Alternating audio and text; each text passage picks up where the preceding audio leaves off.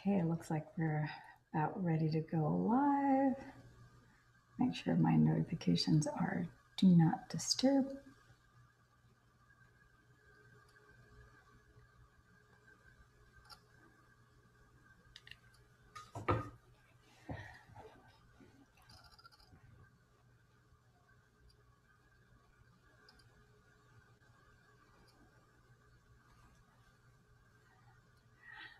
My Zoom window?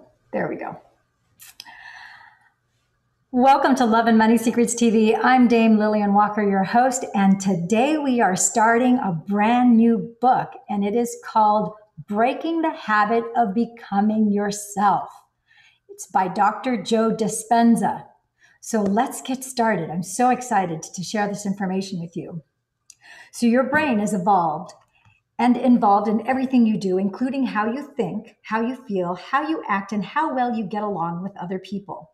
It's the organ of personality, character, intelligence, and every decision you make. From my brain imaging work with tens of thousands of patients worldwide over the past 20 years, it is very clear to me that when your brain works right, you work right. And when your brain is troubled, you are much more likely to have trouble in your life. With a healthier brain, you are happier, physically healthier, wealthier, wiser, and just make better decisions, which helps you become more successful and live longer. When the brain is not healthy for whatever reason, such as a head injury or past emotional trauma, people are sadder, sicker, poorer, less wise, and less successful. It's easy to understand how trauma can hurt the brain, but researchers have also been seen how negative thinking and bad programming from our past can also affect it. So, for example, I grew up with an older brother who was intent on shoving me around. The constant tension and fear I felt then led to a higher level of anxiety, anxious thinking patterns, and always being on guard never knowing when something bad was about to happen. This fear caused long term overactivity in my brain's fear centers until I was able to work through it later in life.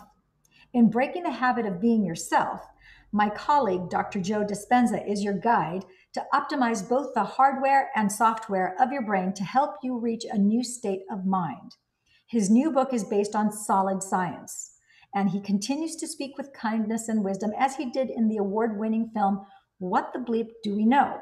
And in his first book, Evolve Your Brain. Even though I think of the brain like a computer with both hardware and software, the hardware, the actual physical function of the brain, is not separate from the software or the constant programming and reshaping that occurs throughout our lives. They have a dramatic impact on each other most of us have, have had some sort of trauma of some kind in our lives and live with the day to day scars that have resulted. Cleaning out those experiences that have become part of the brain's structure can be incredibly healing. So, of course, engaging in brain healthy habits, such as proper diet and exercise and certain brain nutrients, is critical to the brain working right. But in addition, your moment by moment thoughts exert a powerful healing effect on the brain, or they can work to your detriment. The same is true for past experiences that become wired in the brain. So, the study we do at the Amen clinics is called Brain SPECT imaging.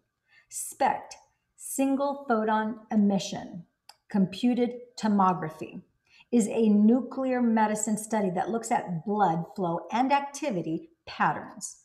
It is different from CT scans or MRI, which examine the brain's anatomy, because SPECT looks at how the brain functions. Our SPECT work, now over 70,000 scans, has taught us so many important life lessons about the brain, such as brain injuries can ruin people's lives.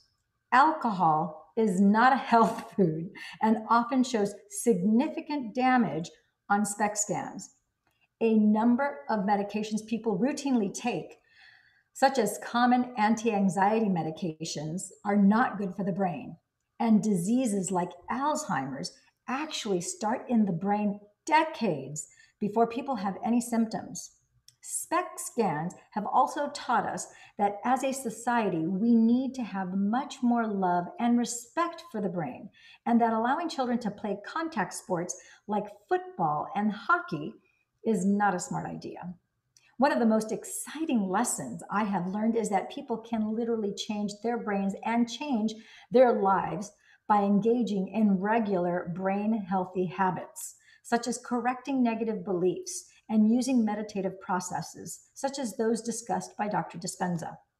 In one series of studies, we published the practice of meditation, such as what Dr. Dispenza recommends, boosted blood flow to the prefrontal cortex, the most thoughtful part of the human brain.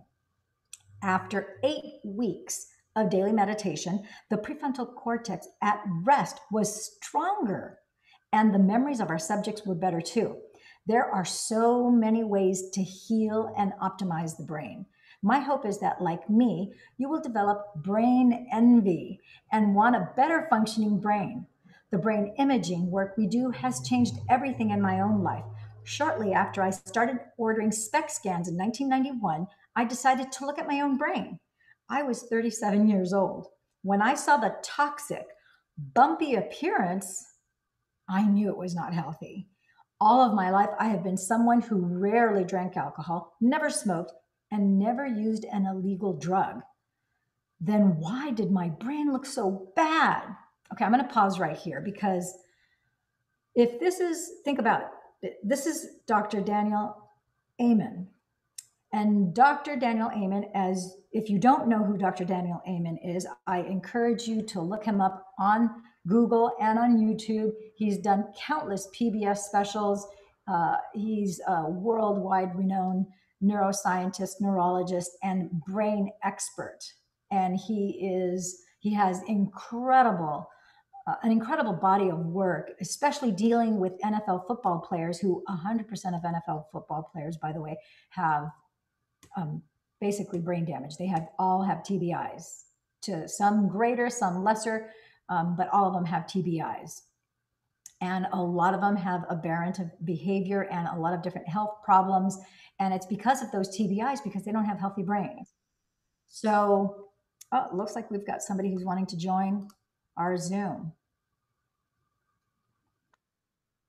So let's see here.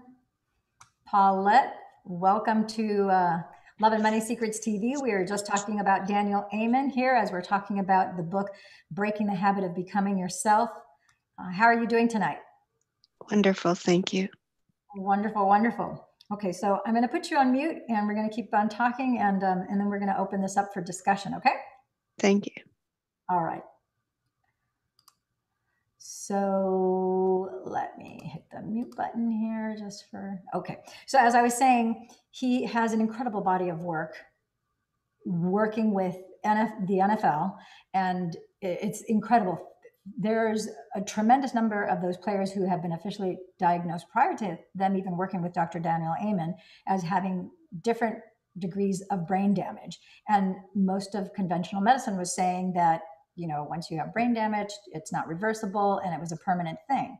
However, because of the strategies in the application of um, certain systems, if you will, that Dr. Dan- Daniel Amen has, which includes basically nutrition, no sugar, um, different nutritional supplements that will encourage the neurological pathways of the brain to grow and to regrow and for neurons to reform and to re-express themselves. Now, I can speak from two fronts. I have been a fan of Dr. Daniel Amen for years, and never did I ever think myself that I was going to actually need his services. And then, as some of you know, if you followed and read with me the Becoming Supernatural book, chapters 1 through 14, and the afterward, you'll know that I've spoken about the traumatic brain injury, the accident that I had in 2017 when I was hit while I was riding my bike. I was hit by an Orange County Transit Authority bus I went flying, had a traumatic brain injury, neck injury, lower back injury. Also, you know, um, injured my right leg. Have still have a scar, you know, from that, and multiple things that have happened. Um, you know, I'm not 100% um, healed from that. There I'm still doing the meditation, still trying to heal myself 100%. but I'm considerably better, considerably better than I was before. And not only did I have the opportunity to work with Daniel Amen as a patient, but I also worked on a film called Quiet Explosions, where Emmy Award winning producer and writer Jerry Sher did this film. And um, I was part of the crew where we produced and we shot this. And we had Dr. Daniel Amen as one of the experts that came on to talk about the quiet explosions that occur in the brain and how oftentimes people, you know, whether they're football players, whether they're vets who have suffered traumatic brain injuries, you know, on combat field, or people who have suffered brain injuries and unbeknownst to them, they're they're walking around with TBIs and have certain behaviors that they think are now normal to them because they've grown so accustomed to them. But some of these injuries were from when they were in high school and when they played football, or when they were in high school and got hit in the head by a baseball or soccer, the multiple repeatedly banging on the you know front part of their head or the side of the head, and that rattling sensation where your brain is you know you have shaken brain syndrome that occurs from that. And so he is a wonderful advocate about that. And so I can speak from firsthand experience as not only you know a reader of his books and as a fan of his work and the incredible strides that he's made, but also as a patient and also as being you know as part of principal photography and production of the movie Quiet Explosions, which you guys have to watch that when it premieres. We were supposed to premiere in March, and of course, the quarantine hit. And so the governor said no gatherings, and we had to postpone that premiere. Who knows when we'll be premiering that film?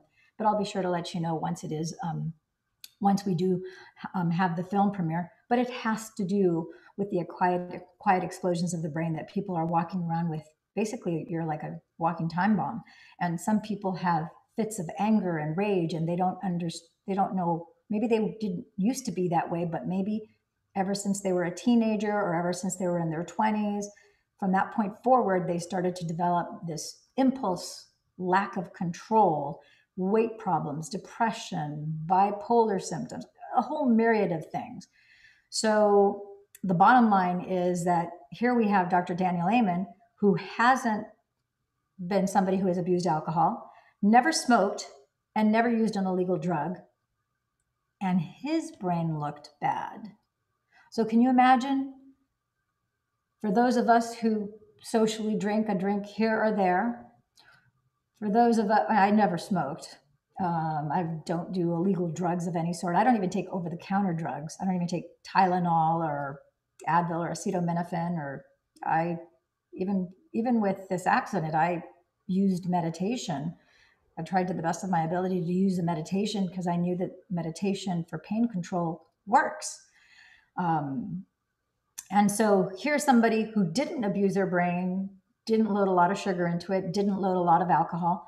Another thing, a lot of a lot of you may not know this. I have a strong background in I was pre-med biological sciences at USC and I actually have a lineage behind me of over a thousand years of hospitalers who were the original people who basically opened up hospitals so that the common person first of all first it was for children and then it was for the common person so that not, not just nobility would have access to health care but so that the common person would actually have health care available to them and so, that being said, one of the things that I remember, I'll never forget in organic chemistry when we learned that alcohol basically turns into sugar in the body as it metabolizes. So, and if you see, if you look at the chemical formula, you'll see actually how the structure of the molecules actually turn into sugar. Um, another thing that people don't think about, because you have to pay attention to your sugar intake, because sugar increases the acidity in your body, your brain bathed in acid doesn't do very well. Um, it, you know, it does better with proteins, and there's certain types of proteins, of course, that are better than others. So the, my point being is that here is somebody who didn't abuse alcohol, didn't abuse drugs, didn't didn't smoke, and yet he, he had his brain didn't look good. So if you have been smoking most of your life, if you make no mistakes, if you smoke weed don't fool yourself and say, "Oh, I don't smoke. All I do, all I smoke is weed, you know, marijuana, pot." Uh, that's smoking. And there's even commercials now I know that are out where you know people say, "Oh no, I don't smoke," and it's like, "Oh, I only I only smoke weed. And then of course the, the guy in the commercial is like, oh no, I don't, I don't like girls who, who smoke. And like, but I don't smoke. I just, I do weed. It's like, it's smoking. Make no mistakes. So the bottom line is that if you are a frequent drinker of alcohol, alcohol turns into, into sugar in your body, which is not good. It creates an acidic environment. Um, rice, pasta, a lot of carbs turn into sugar. You can offset that if you know how to combine, do a certain amount of food combining, you can offset that and alkalize your body, which when you do meditation, when you do deep breathing exercises, and even, even without meditation, deep breathing exercises alkalize the body. So there are things that you can do to offset that so you can still have, like me, you can't take away pasta and rice for me. I'm Spanish and Italian. Hello. You know, we have rice or pasta every single day we have we also have a lot of green leafy vegetables, yada yada yada. So let's find out why his brain looked so bad. And this is interesting because now he's he's looking at himself as not only the neurologist but also as the patient. So before I really understood about brain health, I had many bad brain habits. I ate lots of fast food. I've never been a big fast food fan, but there was a period in my life that I had my share of happy meals, I will confess. So he had a lot of fast food, drank diet soda. Another pause. There's a clue in diet soda why you should not be drinking diet soda. And I've always said don't eat anything that's sugar free, fat free. Okay, sugar free, fat free, or diet. First of all, the word die is in diet. You drop the T and it's diet. Why would I drink a drink that's inferring death? No. Uh, I can go off on some chemistry aspects about diet foods that are allegedly diet foods, low fat, fat free, sugar free, etc. Everybody I know who eats that group of foods all have weight problems. I have never eaten any of those foods and have never had a weight problem. And then, of course, people will probably say, oh, it's genetics. I don't think it's just genetics. I think that genetics has a part in that uh, realm, but I think also what you eat, how you eat, when you eat, makes a big difference. And that's what he will disclose in just a few minutes here. So he talks about how I ate lots of fast food, drank diet soda like she was my best friend. I've known people who've replaced diet soda. They drink that instead of water because they don't like water. And then 20 years after drinking diet soda, they start to have kidney problems, of course. Um, he said, often slept only four to five hours a night and carried unexamined hurts from the past. Okay, preaching to the choir here because I've been infamous for pulling all nighters when I was in college and throughout my career. And it wasn't until I was, I think, in my early 40s when I started realizing this, even though it's not difficult for me to do, it's probably not the healthiest thing to do. And the reality is that there was a study that was conducted that was highlighted by a show called 2020, where they showed side by side people who had been sleep deprived next to people who had had two or three drinks. And they put them both behind the wheel of a car and put them on the exact same obstacle course where they had to drive, kind of making S's around pylons on the asphalt in a, in a very large parking lot. And would you believe that the drunks did better than the sleep deprived people? Yes, my friends. So when I saw that, I was about 40 years old and I was horrified. I was aghast to see that the people who were sleep deprived, because I've always prided myself in saying, you know, I don't get drunk. Why? Because I usually don't have more than one or two drinks when I drink. I usually, and then it takes me hours to finish one drink. So I'm a sipper. I don't like drinking, drinking. I like, if I'm out with friends and stuff, I like sipping on whatever the drink is, whether it's wine, champagne, a mojito, whatever the case might be, I like sipping it. Well, Turns out the drunks in this test, and there was a lot of conclusive evidence from other universities apparently, and these were all college age students. So they were all students, I think they were juniors and seniors that were in college. And the one control group was sleep deprived for two nights, three nights in a row. And the other group had had, um, I think, three to four drinks, and they were men and women. Okay, so slept only four to five hours a night and carried unexamined hurts from the past. I think we're all guilty of that. Heck, for a long time, for a long time, I didn't have any hurts from the past. And then I did.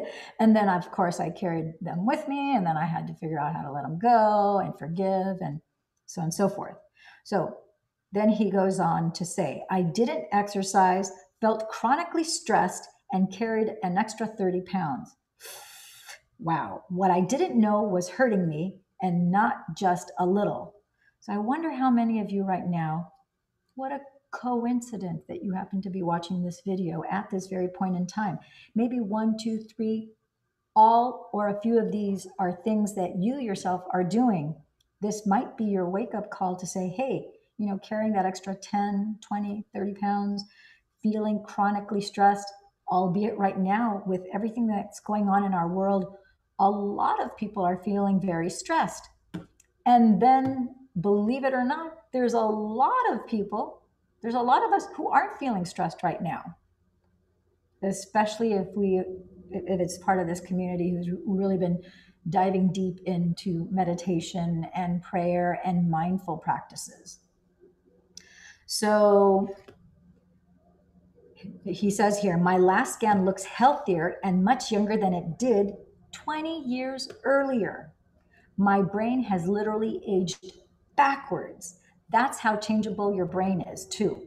When you make up your mind to take care of it properly, after seeing my original scan, I wanted my brain to be better. This book will help yours be better too. I hope you enjoy reading it as much as I did. Daniel G. Amen, MD, author of Change Your Brain, Change Your Life. Okay, so we're going to get started here with chapter, actually, the introduction, and then we'll get into chapter one. Introduction The greatest habit you can ever break is the habit of being yourself.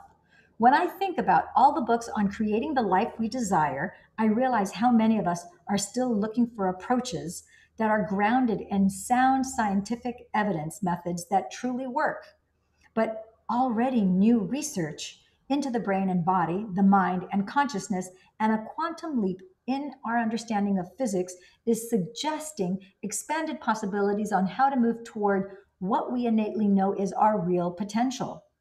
As a practicing chiropractor who runs a busy integrated health clinic and as an educator in the fields of neuroscience, brain function, biology, and brain chemistry, I have been privileged to be at the forefront of some of this research, not just by studying the fields mentioned above, but also by observing the effects of this new science once applied by common people like you and me. That's the moment when the possibilities of this new science becomes reality, also known as realized. So, as a consequence, I have witnessed some of the remarkable changes in individuals' health and quality of life when they truly change their minds.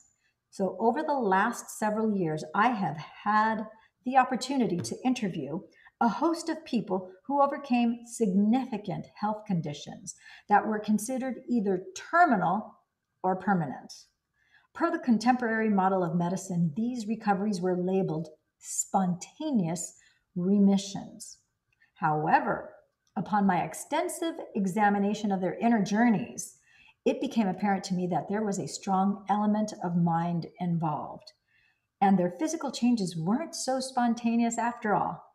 This discovery furthered my postgraduate studies in brain imaging, neuroplasticity, epigenetics, and psychoimmunology. So I want to call attention to this because I want you to recognize that uh, Dr. Joe Dispenza is not only a chiropractor, but he did further his postgraduate studies and did specializations in brain imaging. No wonder he does all those EEGs at so many of the monasteries when we attend the seven day advanced uh, events.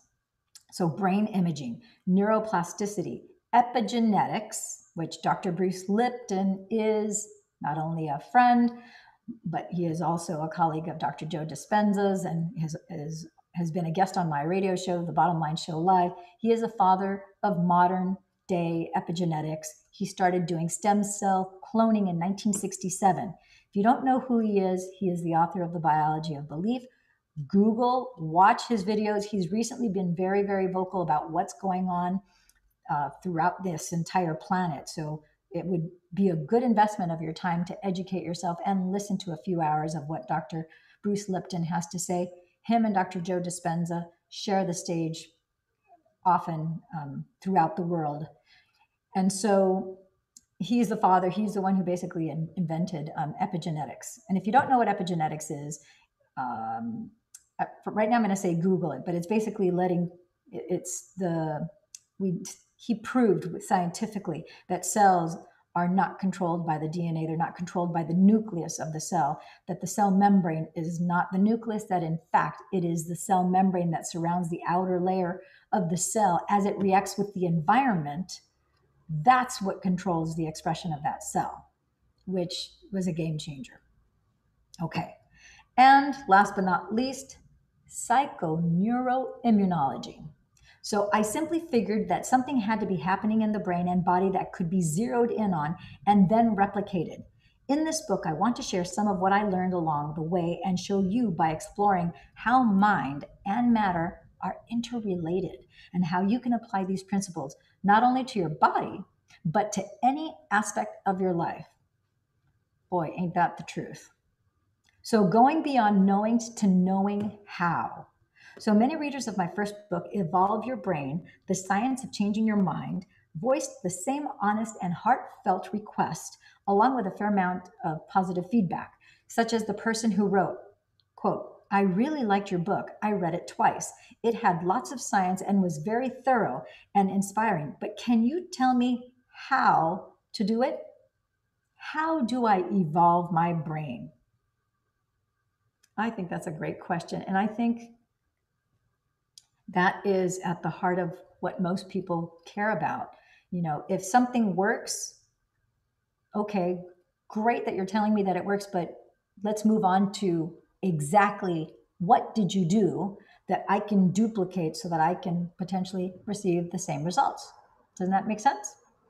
So, in response, I began teaching a workshop series on the practical steps anyone can take to make changes at the level of the mind and the body that will lead to lasting results. Consequently, I have seen people experience unexplainable healings, release old mental and emotional wounds, resolve so called impossible difficulties, create new opportunities, and experience wonderful health. Just to name a few. You will meet some of those people in these pages, and it's not necessary that you read my first book to digest the material in this one. But if you have been exposed to my work, I wrote Breaking the Habit of Being Yourself to serve as a practical how to companion to evolve your brain. It is my earnest objective to make this new book simple and easy to understand. There will be times, though, that I will have to give you bits of knowledge to act as the forerunner to a concept I want to develop. The purpose is to build a realistic working model of personal transformation that will help you understand how we can change. So, breaking the habit of being yourself is a product of one of my passions, a sincere effort to demystify the mystical so that every person understands that we have within our reach all we need to make significant changes in our lives. This is a time when not only do we want to know, but we want to know how. How do we apply and personalize both emerging scientific concepts and age old wisdom to succeed at living a more enriched life? When you and I can connect the dots of what science is discovering about the nature of reality, and when we give ourselves permission to apply those principles in our day to day experience and existence, then each of us becomes both a mystic and a scientist in our own life. So I invite you to experiment with everything that you learn in this book and to objectively observe the results. What I mean is that if you make the effort to change your inner world of thoughts and feelings, your external environment should begin to give you feedback to show you that your mind has had an effect on the outer world. Why else would you do it? So if you take intellectual information that you learn as a philosophy and then you initiate that knowledge into your life by applying it enough times until you master it, you will ultimately move from being a philosopher to an initiate to a master. Stay tuned. There is sound scientific evidence that this is possible. I do ask you up front to keep an open mind so that we can build, so that we can build step by step the concepts I outline in this book. All of this information is for you to do something with. Otherwise, it's just good dinner conversation, isn't it? Once you can open your mind to the way things really are, and let go of your conditioned beliefs with which you are accustomed to framing reality. Let us pause here because I want you to pay close attention to the languaging here. As some of you uh, know, I am very big on doing neuro health resets to help link and sync the left and the right hemisphere of the brain to help you relieve from pain whether the pain is physical or emotional, spiritual or psychological, makes no difference. Whether you have a belief that it works or not makes no difference either because it taps into neuroplasticity and the eight different sensory systems of the body. And it's how your body, how your brain, the organ actually categorizes everything that it sees, smells, tastes, hears, touches, and senses. That's why it doesn't matter whether you believe or not. And here he said something critical, which is why I'm I'm pointing it out. If you're reading in your books at home, whether it's on your Kindle, your iPad, or a physical book, highlight. Let go of your conditioned beliefs with which you are accustomed to framing reality. Put a circle around framing reality as well as highlighting that phrase. Because make no mistakes, your brain, as it categorizes and files information, it's like your brain has like a filing cabinet and it stores by relevance information information it's never heard of before you're firing and wiring 2600 neurological pathways of the brain's neurons are just like going off like crazy like a christmas tree like little twinkle lights boom boom boom boom boom if it's something that you've heard before half the neurons and neurological pathways of the brain are enacted so it's half the light half the energy half the electricity is wiring and firing you're actually smarter by listening, by reading, by learning this information. You're actually getting smarter. Not only are you learning things, you're being exposed to new information, you're also being challenged to how you frame reality because scientists have actually proven from a quantum level to a 3D outward experience level how things actually work and the truth and how by reframing your reality, once you know how things actually work, you understand it, then with more conviction, with more faith, with more fervor, you go at it because you have an understanding, understanding at a deeper level. Does that make sense? Okay. So you are now framing your, your as we speak, you're reframing your reality. You should see the fruits of your efforts. That is my wish for you. The information in these pages is there to inspire you to prove to yourself that you are, in fact, a divine creator. We should never wait for science to give us the permission to do the uncommon. If we do, then we are turning science into another religion. We should be brave enough to contemplate our lives, do what we thought was outside of the box, and do it repeatedly. When we do that, we are on our way to a greater level of personal power. True empowerment comes when we start to look deeply at our beliefs. We may find their roots in the conditioning of religion, culture, society, education, family, the media, and even our genes, the latter being imprinted by the sensory experiences of our current lives, as well as untold generations before. When then We weigh those old ideas against some new paradigms that may serve us better. Times are, in fact, changing. Make no mistakes, we see that going on big time. We've had massive change since the last week of February to this very day.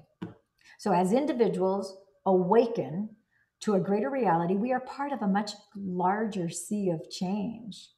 Our current systems and models of reality are breaking down. They sure are. And it is time for something new to emerge. Across the board, our models for politics, economics, religion, science, education, medicine, and our relationship with the environment are all showing a different landscape than just 10 years ago. Big time pause button. In fact, I should get one of those, you know, the staples. It's got those red buttons that you hit it and it says that was easy. I wish I had one that said pause. I could hit the pause button. I want, you know, stone's throw from where, where I am right now, here in Huntington Beach. We have bioluminescent beaches now, right at sunset for several hours. We, you know, we've had the red tides, the algae, they're dinoflagellates. The population of dinoflagellates is so high because there's such little pollution and the ocean has been able to breathe and repropagate itself and reproduce and the water's cleared that we have a much larger like probably the biggest red tide i've ever seen in my lifetime and that gives way to the dinoflagellates glowing at nighttime because they absorb the light during the day because they're biophotonic and boom we have these incredible waves if you don't know what i'm talking about just go to YouTube and do bioluminescent waves.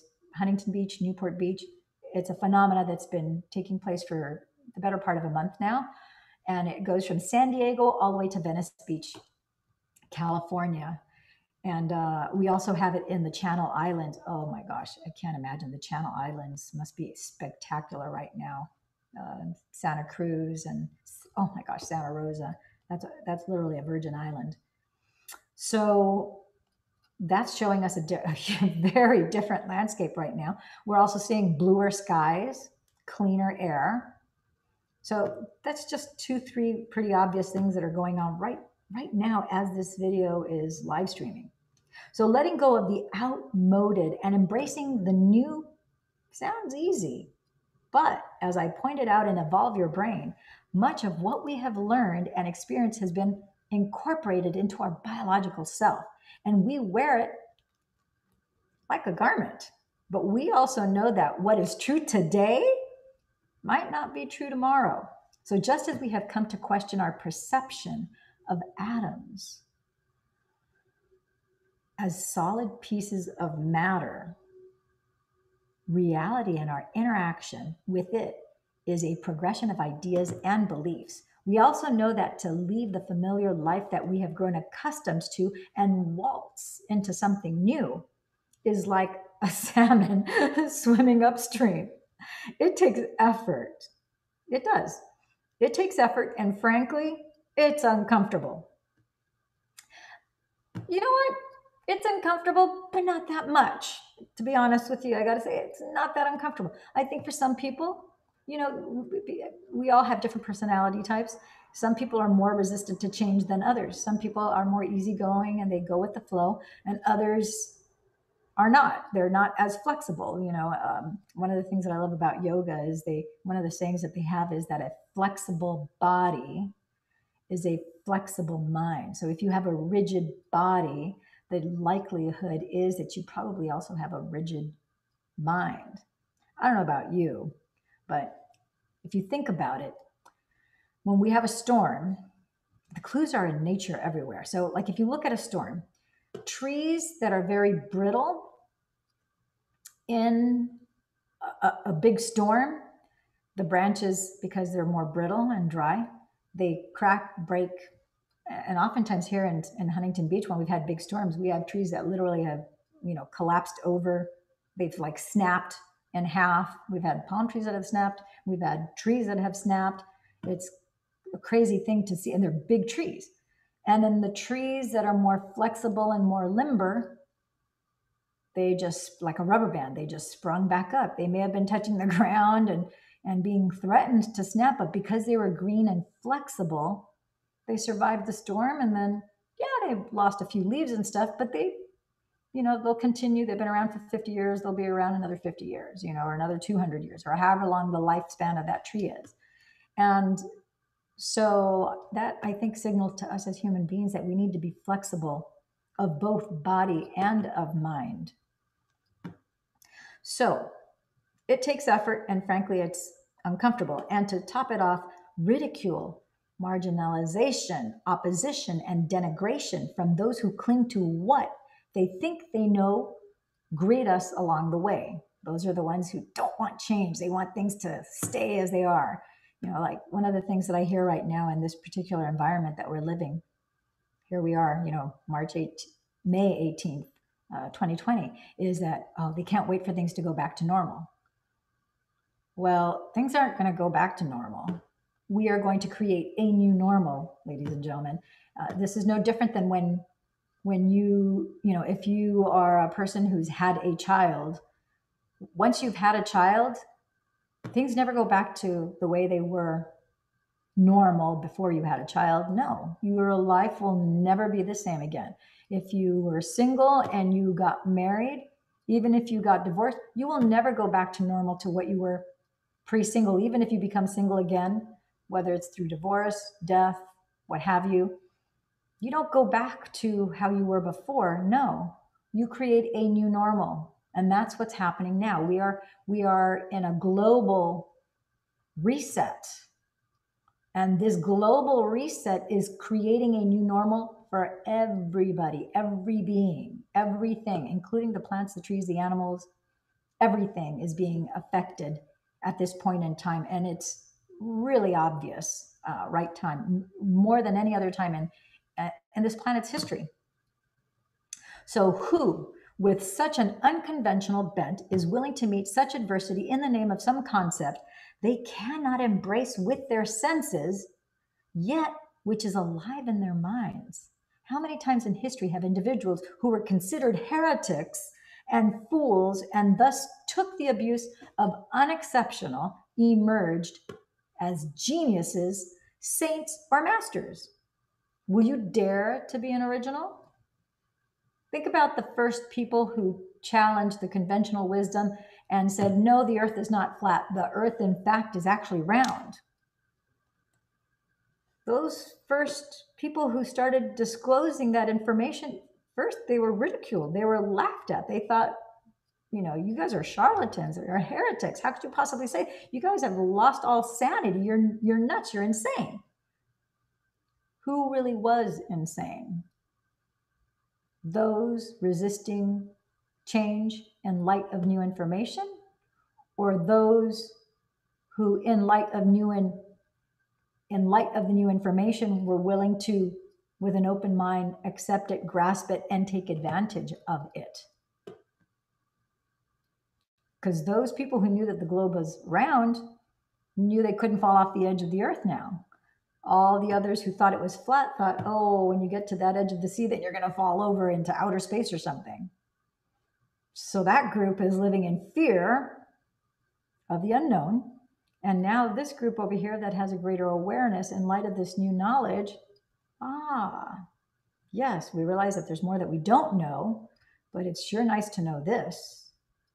When you know better, you do better change as a choice instead of a reaction. So it seems that human nature is such that we balk at changing until things get really bad. And we're so uncomfortable that we can no longer go on with business as usual. And this is as true for an individual as it is for a society. I want to pause right here just briefly, just to make a sidebar comment, because uh, one of the things that I've, I've learned throughout my career and over my lifetime is that, you know, each individual has a personality. But make no mistakes, whether you look at a little group of people, it could be a group of children, it could be a church group, it could be a civic group, it could be a um, charity organization, uh, it could be a business, whatever group of individuals, they have a collective personality as well. And the city that you live in has a people in your city from one city to another city. Like Huntington Beach's personality, even though we're right next to Newport Beach, Newport Beach has a different personality than Huntington Beach. Seal Beach has a different personality than Huntington Beach. Venice Beach has a different personality than, and you know, they're all individualized. The, the sum of each one of those individuals that live in those communities make a collective personality. Our country, we are, you know, founded on a, a group of men who were rugged individualists. That was a much different personality than the subjects to the queen, where we where our forefathers came from. So make no mistakes, groups have a personality as well.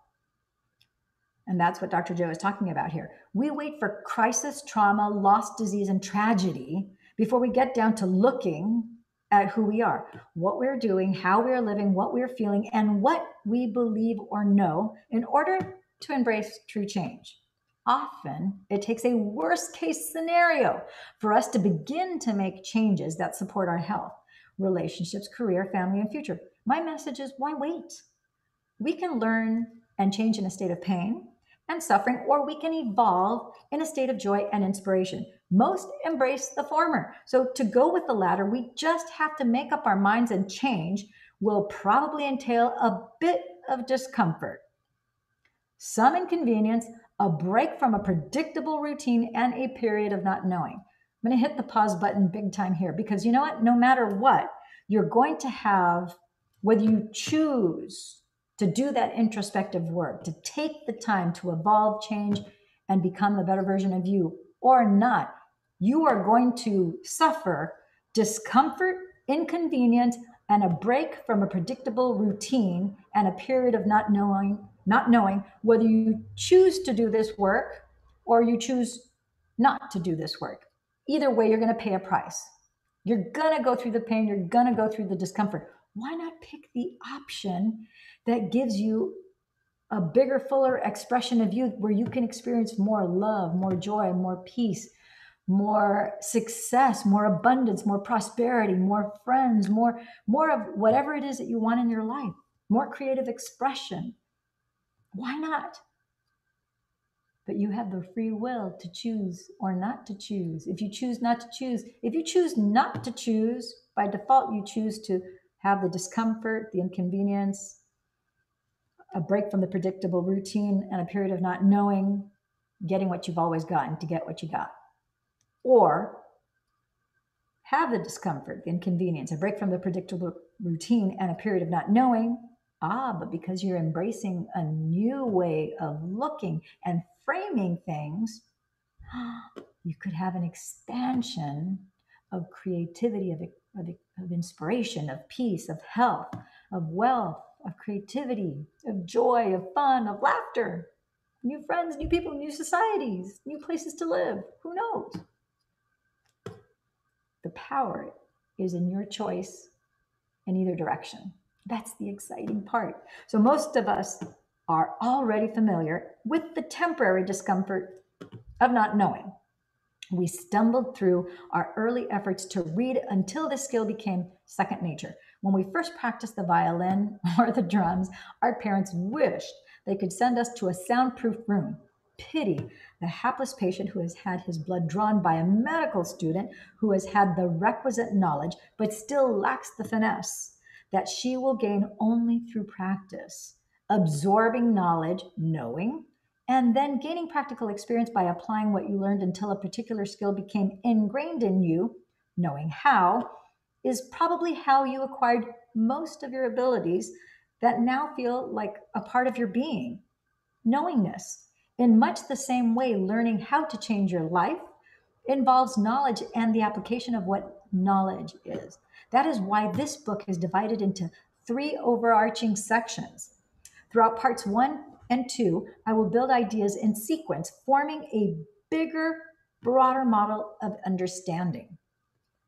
So, for you to personalize, if some ideas seem repetitive, they are there to remind you about something that I don't want you to forget, that I want you to remember.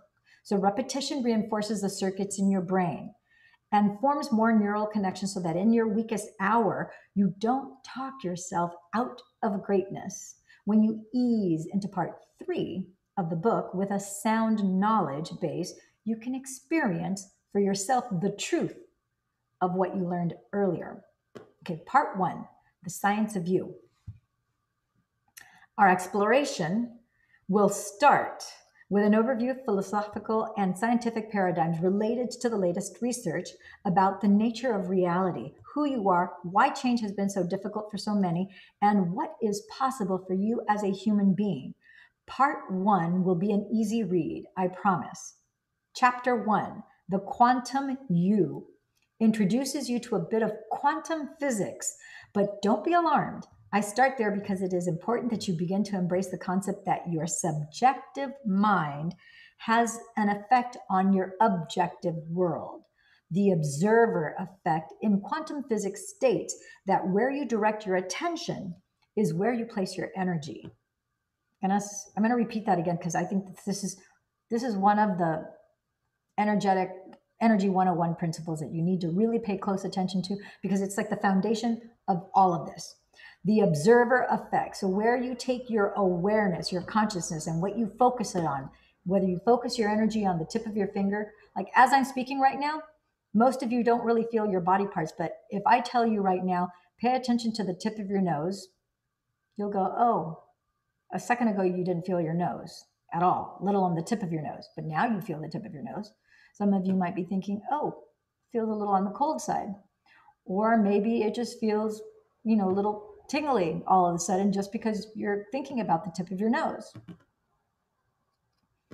So wherever you put your attention, so the energy is now going to that body part, and that's why it's a little tingly. That's why it may feel a little cold, whatever the case might be. Your, you know, everybody's sensation is a little bit different. So the observer effect in quantum physics states that where you direct your attention is where you place your energy. As a consequence, you affect the material world, which, by the way, is made, made mostly of energy. So, which, by the way, is made mostly of energy. If you entertain that idea even for a moment, you might start focusing on what you want instead of what you don't want. And you might even find yourself thinking if an atom is 99.99999% energy and 0.00001% physical substance, then I'm actually more nothing than something.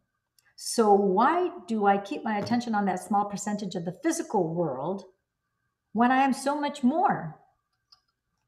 Is defining my present reality by what I perceive with my senses the biggest limitation I have? In chapters two through four, we will look at what it means to change to become greater than the environment, the body, and time. Yes, make no mistakes, ladies and gentlemen, friends and gems. I want you to know that you are going to learn to become greater than the environment, your physical body, and transcend time. Oh, yes, it is magic.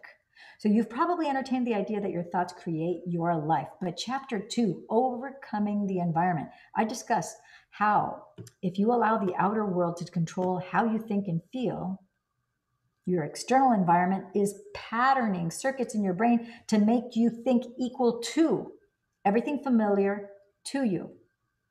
The result is that you create more of the same. You hardwire your brain to reflect the problems, personal conditions, and circumstances in your life. So to change, you must be greater than all the things physical in your life. Highlight that, friends and gems. So to change, you highlight it, you must be greater than all physical, all things physical in your life. Everything you touch, see, sense, smell, taste, all of these things, you have to become greater than all these things. And the good news is that it's not that difficult to do. Everybody, Nobody is so special that they can't do this. From a five year old to a 105 year old, everybody can do this. And it's exciting because it works. Chapter three Overcoming the Body. Continue to look at how we consciously live by a set of memorized behaviors, thoughts, and, re- and emotional reactions, all running like a computer program behind the scenes of your subconscious awareness.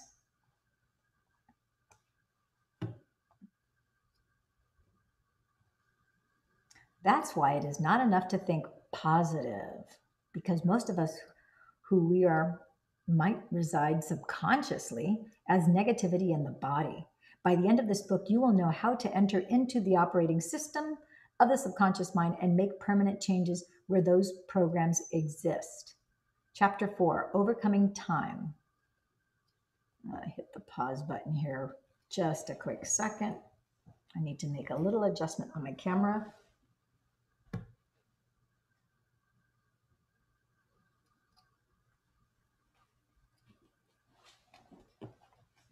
Okay, so we are right now on page two. Let's see.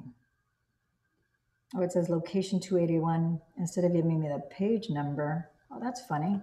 Okay, well, it's a different book. And Becoming Supernatural gave me the page number at the bottom. So I apologize for not being able to give you the page number, but we are at the portion of the book where it says chapter four Overcoming Time.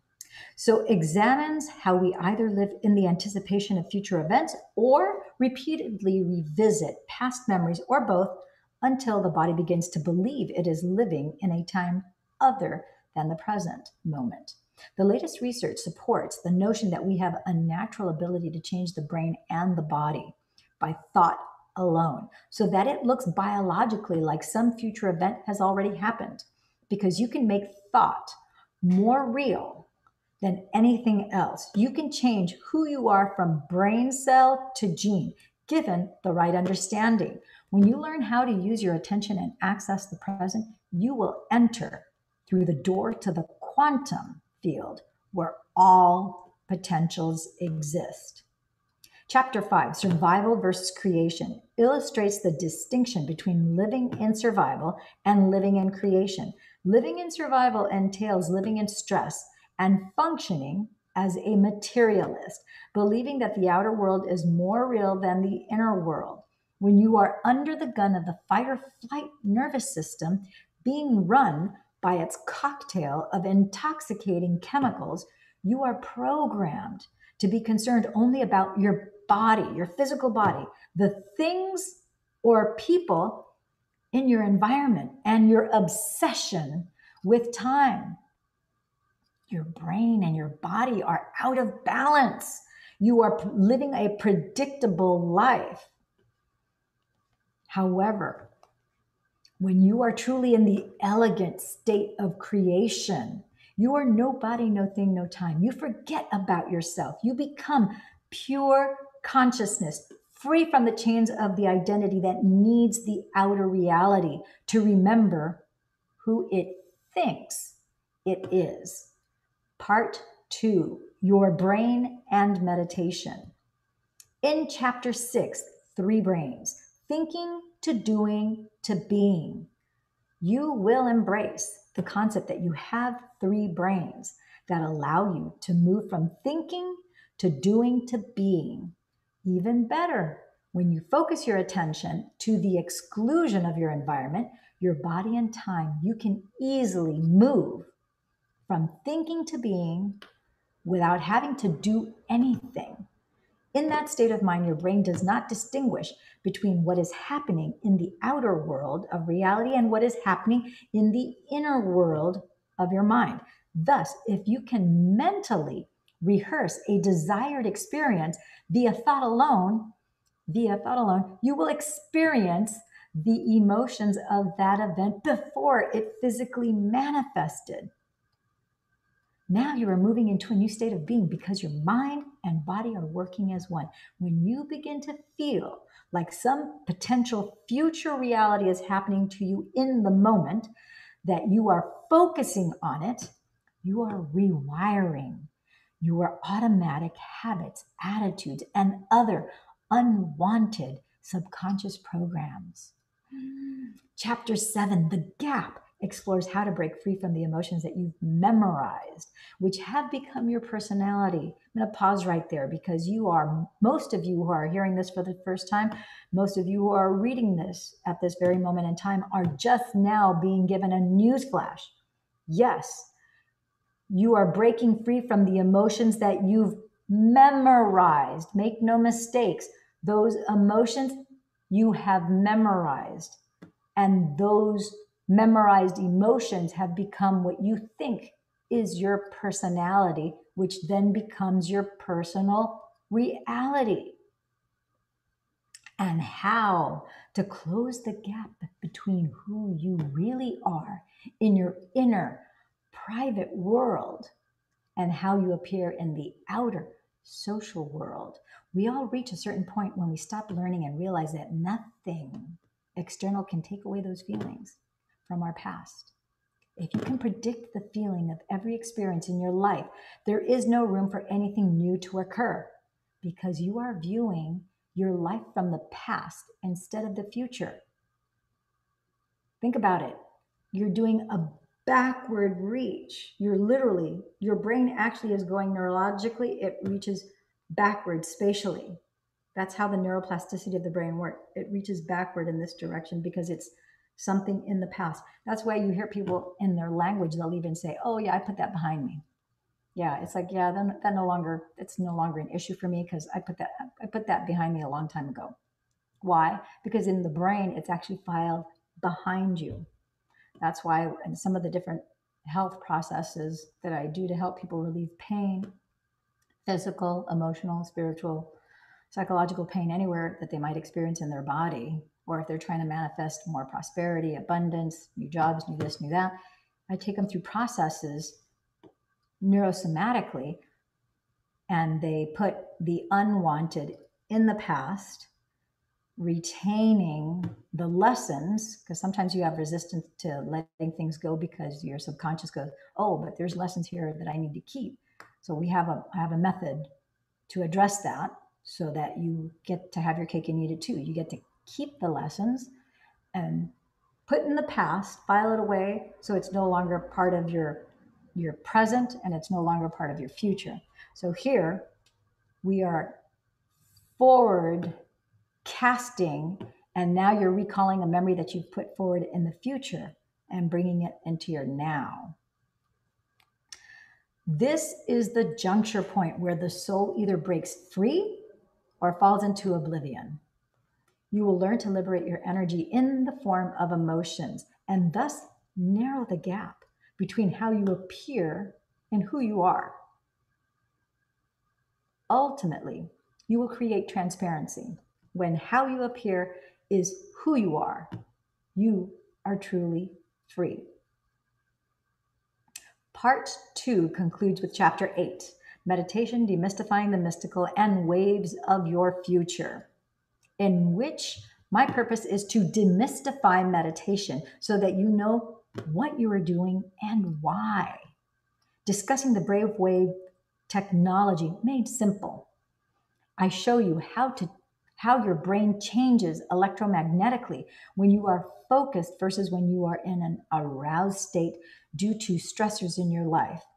You will learn that the true purpose of meditation is to get beyond the analytical mind and enter into the subconscious mind so that you can make real and permanent changes. If you get up from meditation as the same person who sat down, nothing has happened to you on any level.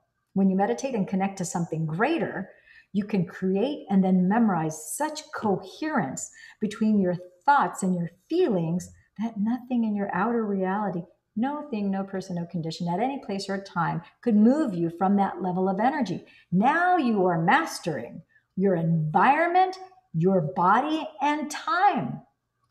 Part three stepping toward your new destiny.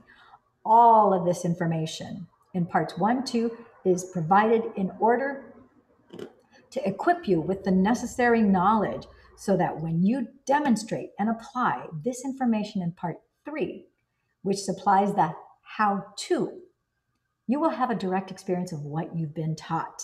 Part three is all about applying yourself in actual discipline, a mindful exercise to use in your daily life. It's a step by step meditation process created so you can actually do something with the theories given to you. By the way, did your mind balk when I mentioned that multi step process? If so, it's not what you think. Yes, you will learn a sequence of actions, but soon you will experience them as one or two simple steps. After all, you probably perform multiple actions every time you prepare to drive your car. For example, you adjust your seat, you put on your seatbelt, check your mirror, start the car, turn on the headlights, look around, use a turn signal, apply the brake, put the car in drive or reverse, apply pressure to the gas pedal, and so on. Ever since you learned to drive, you have executed this procedure easily and automatically. I assure you the same will be true once you learn each step in part three. You may be asking yourself, why do I need to read parts one and two? I'll just jump to part three. I know, I'd probably be thinking the same. I decided to offer the relevant knowledge in the first two parts of the text so that you get to the third section. Nothing will be left to conjecture, dogma, or speculation. When you begin the steps of the meditation, you'll know exactly what you're doing and why. When you comprehend the what and the why, the more you will know, and thus the more you will know how when the time comes. Therefore, you will have more power and intention behind the practical experience of truly changing your mind. By using these steps in part three, you may be more prone to accept your innate ability to change your so called impossible situations in your life. You might even give yourself permission to entertain potential realities that you never considered prior to your exposure to these new concepts. You might just begin to do the uncommon. That is my aim for you by the time you finish this book. So if you can resist the temptation to jump ahead to part three, I promise that when you get there, you'll be quite empowered by what you learn.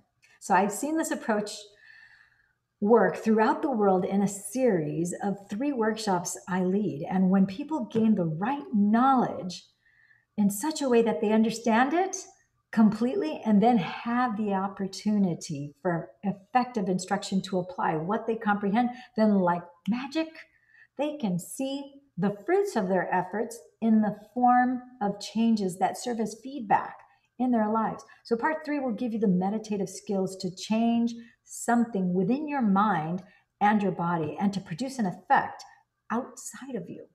Once you can notice what you did inside of you that produce an outcome outside of you, you'll do it again.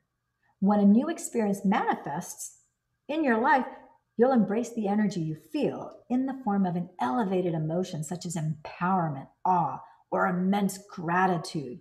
And that energy will drive you to do it again and again and again. Now you are on the path of true evolution. Each meditation step, delineated in part three, is associated with a piece of meaningful information presented earlier in the book. Because you have cultivated the meaning behind exactly what you're doing, there should be no ambiguity that might cause you to lose your vision. So, like many skills you've learned in the beginning, it may take all your conscious effort to stay focused as you learn how to meditate, to evolve your brain.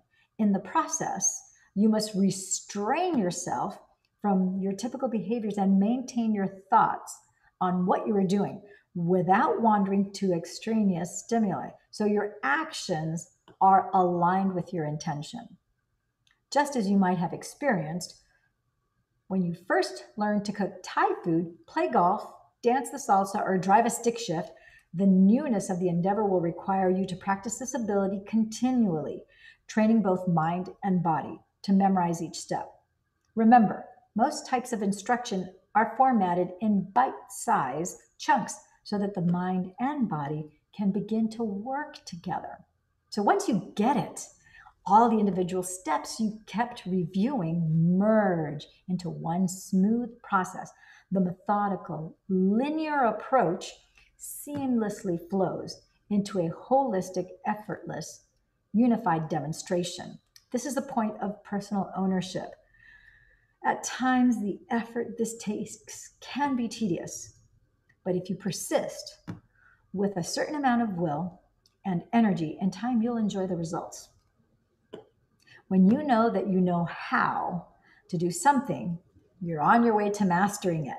I am overjoyed to say that many people around the world are already using the knowledge in this book to make demonstrable changes in their lives. It is my sincere passion that you too break the habit of be- being yourself and create the new life you desire.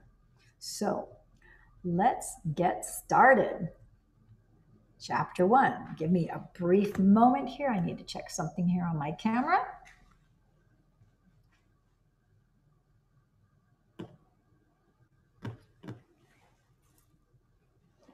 All righty, so now here we go, diving deep. Chapter one The Science of You. Chapter one The Quantum You. Early physicists divided the world into matter and thought, and latter, matter and energy. Each member of those pairs was considered to be entirely separate from the other, but they're not. Nevertheless, this mind matter duality shaped our early worldview that reality was essentially predetermined and that people could do little to change things through their own actions, little on their thoughts. Fast forward to our current understanding that we are part of a vast, invisible field of energy which contains all the possible realities and responds to our thoughts and our feelings. Let's highlight this, friends and gems. It says here, we are part of a vast, invisible field of energy which contains all possible realities and responds to our thoughts and feelings. If you have a book, highlight that now because that is a very powerful point. You need to recognize that because we are part, you are part, I am part of a vast invisible field. I'm part of that invisible field of energy, which contains all possible realities, all the infinite intelligence and it responds to my thoughts, to your thoughts, and to my feelings, your feelings. And that's how we mold the clay. So, just as today's scientists are exploring the relationship between thought and matter, we are eager to do the same in our own lives. And so we ask ourselves can I use my mind to create my reality? And if so, is that a skill that we can learn to use to become who we want to be and create the life we want to experience? Let's face it, none of us is perfect. Whether we like to make some change to our physical self, emotional self, or spiritual self, we all have the same desire. We want to live life as an idealized version of who we think and believe we can be. When we stand in front of the mirror and look at our love handles, we don't just see that slightly too pudgy version or vision reflected in the glass, we also see, depending on our mood that day, a slimmer, fitter version of ourselves or a heavier, chunkier version. Which of our image which of our images is real? When we lie in bed at night reviewing our day and our efforts to be more tolerant, less reactive person, we don't just see the parent who lashed out at our child for failing to quietly and quickly submit to a simple request, we envision either an angelic self whose patience was stretched like an innocent victim on the rack or a hideous ogre laying waste to a child's self esteem. Which of those images is real? The answer is all of them are real and not just those extremes, but an infinite spectrum of images ranging from positive to negative. So, how can that be? For you to better understand why none of those versions of self is more or less real than others, I'm going to have to shatter the outmoded understanding about the fundamental nature of reality and replace it with a new one. Now, that sounds like a major undertaking. And in some ways it is. But I also know this the most likely reason why you were drawn to this book is that your past efforts to make any lasting change in your life physical, emotional, or spiritual, have fallen short of the ideal of yourself that you imagined. And why those efforts failed has more to do with your beliefs about why your life is the way it is than anything else, including a perceived lack of will, time, courage, or imagination. Always, in order to change, we have to come to a new understanding of self and the world so we can embrace new knowledge and have new experiences. So, that is what reading this book will do for you. Your past shortfalls can be traced at their root to one major oversight. You haven't committed yourself to living by the truth that your thoughts have consequences so great that they create your reality. You really do. The fact is that we are blessed. We all can reap the benefits of our constructive efforts. We don't have to settle for our present reality. We can create a new one whenever we choose to. We all have that ability because, for the better or worse, our thoughts do influence our lives. Period. And pause right here. In a nutshell, ladies and ladies and gentlemen, friends and gems, I just want to tell you, we really have that magic inside of us. It's an untapped potential. You know, one of the things that I find fascinating over my lifetime, there's been so many people, so many mentors and gurus that I've learned from and studied and read about and attended their seminars and so forth. And one of the things that I find fascinating is that sometimes the way one person languages something gets us to one up to a certain degree of evolution and then somebody else may say maybe it's the same thing but it's said in a different light framed a little differently and that will propel us even further.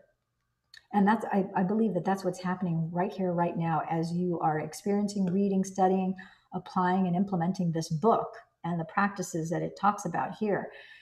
You are getting those ahas and you are seeing things from a different light a different point of view a different framing if you will that's allowing you to expand your consciousness from being limited to this 3D reality where you have these false truly false constraints to now recognizing and having you are actually having the awareness and realizing and noticing as well as understanding that your consciousness has no limitations. It has no boundaries. There are no limits you are one with it it is one with you you are tapped into that infinite source intelligence and it is tapped into you and the how to feel that, how to focus it, how to mold the energy, how to have that energy create that which you desire is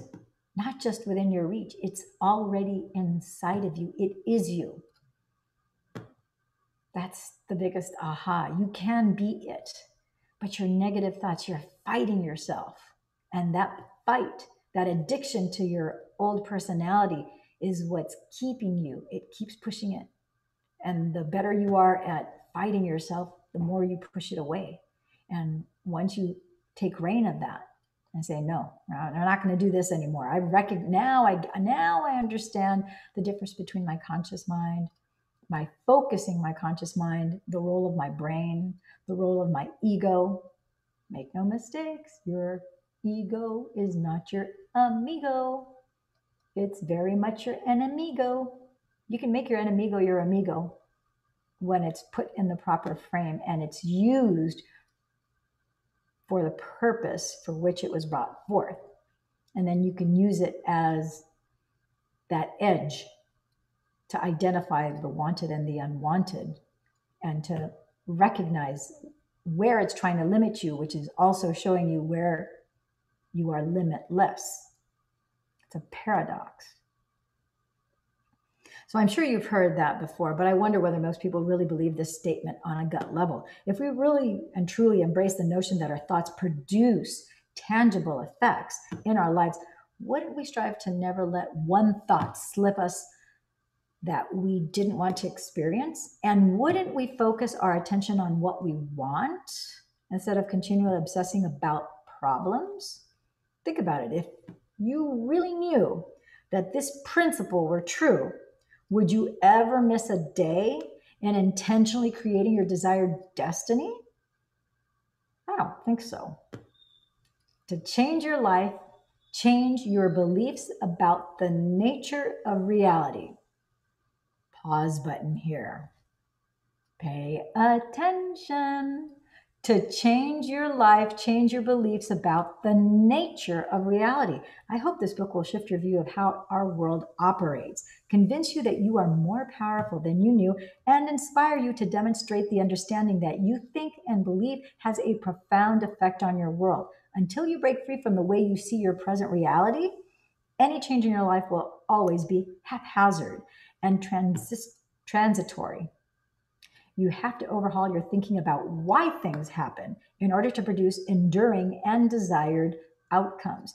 To do that, you'll need to be open to a new interpretation of what is real and true to help you shift into this mode of thought and begin to create a new life of your choosing. I have to begin with a bit of cosmology, the study of the structure and the dynamics of the universe. But don't be alarmed. We're merely going to skim through the nature of reality 101. About it, have, I'm sorry, the nature of reality 101, and how some of our views about it have evolved to reach our present understanding.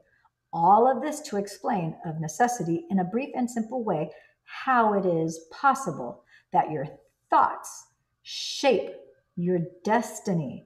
This chapter just might test your willingness to abandon ideas that have, in a sense, been programmed into you for many years on a conscious and subconscious level. And once you gain a new conception of the fundamental forces and elements that constitute reality, it won't fit into that old perception in which the linear and the orderly rule the day.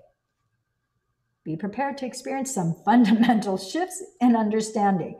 In fact, as you begin to embrace this new outlook, your very makeup as a human being will change. It is my wish that you will no longer be the same person you were when you began. Obviously, I'm about to challenge you, but I want you to know that I'm entirely empathetic because I too have had to let go of what I thought was true and leap into the unknown. To ease into this new way of thinking about the nature of our world, let's see how our worldview was shaped by the early belief that mind and matter were separate things. Always matter. Never mind. Always mind. Never matter. Connecting the dots between the outer physical world of the observable and inner mental world of thought has always been presented quite a challenge to scientists and philosophers. And to many of us, even today, the mind appears to have little or no measurable effects on the world of matter. Although we probably agree that the world of matter creates consequences affecting our minds, how can our minds possibly produce any physical changes affecting the solid things in our lives? Mind and matter appear to be separate. That is, unless there's a shift in our understanding about the way physical solid things actually exist. Well, there's been such a shift, and to trace its beginnings, we don't have to go back very far.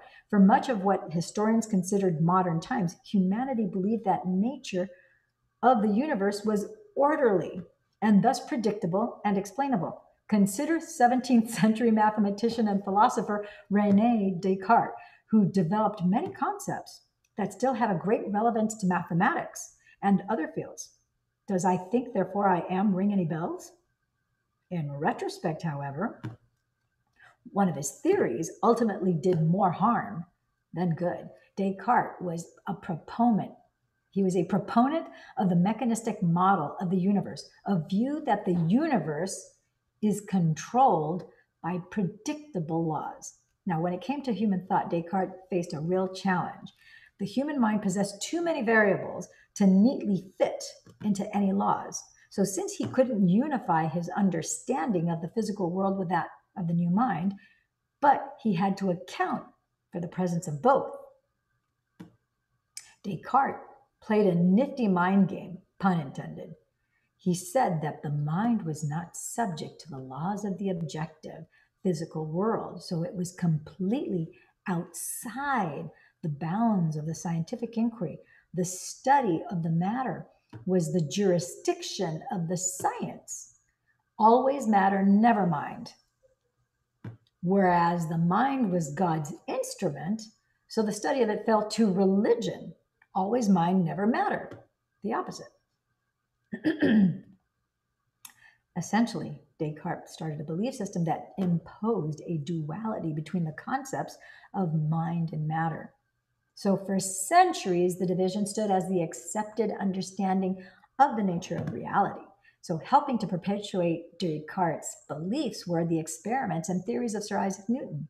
The English mathematician and scientist not only solidified the English mathematician and scientist not only solidified the concept of the universe as a machine, but he produced a set of laws stating that human beings could precisely determine, calculate, and predict the orderly ways in which the physical world would operate. So, according to the classical Newtonian physics model, all things were considered solid.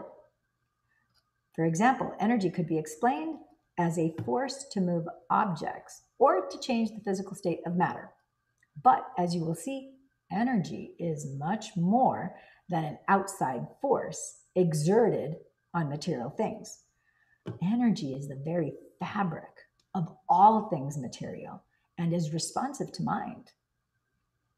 Pay attention, highlight that in your book. Energy is the very fabric of all things material and is responsive to mind. It's with this that we change the energy, it's with the focused mind. So, by extension, the work of Descartes and Newton I was going to say Newtonian physics.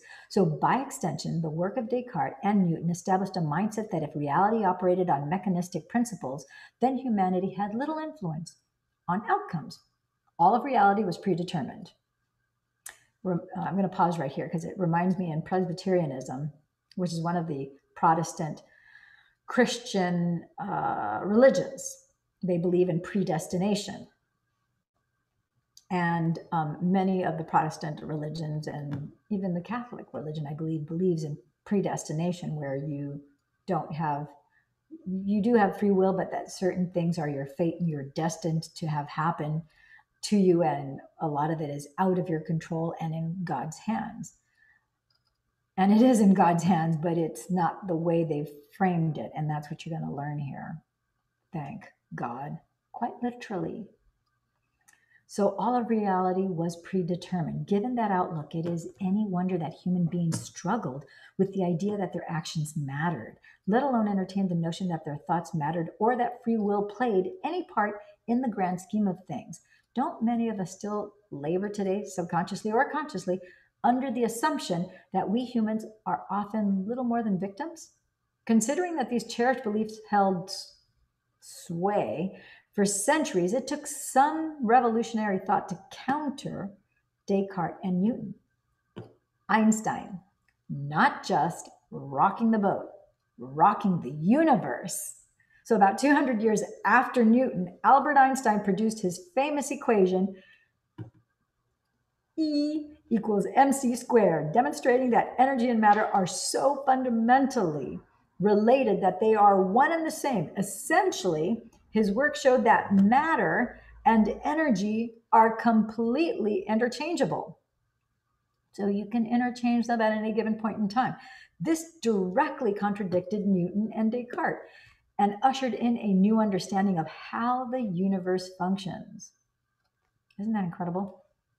Pause, little sidebar here. I bet you don't know this little factoid or this little bit of trivia.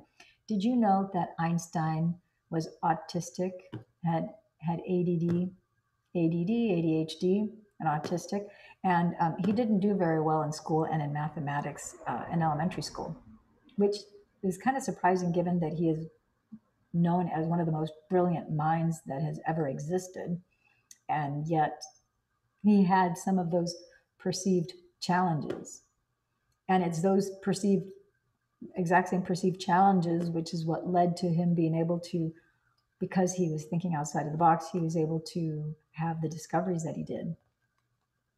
So Einstein didn't single handedly crumble our previous view of the nature of reality, but he did undermine its foundation. And that eventually led to the collapse of some of our narrow, rigid ways of thinking. His theory set off an exploration of puzzling behavior of light. Scientists then observed that light sometimes behaves like a wave when it bends around a corner, for example. And at other times, it behaves like a particle. How could light be both a wave and a particle? According to the outlook of Descartes and Newton, it couldn't. A phenomenon had to be either one or the other. Quickly, it became clear that the dualistic Cartesian Newtonian model was flawed at the most basic level of all the subatomic. Subatomic refers to the parts, electrons, protons, neutrons, and so on, that make up atoms, which are the building blocks of all things physical. The most fundamental components of our so called physical world are both waves of energy and particles. Physical matter, depending on the mind of the observer, will come back to that. So, to understand how the world works, we had to look to its tiniest components. Thus, out of these particular experiments, a new field of science was born called quantum physics. The solid ground we stand on isn't.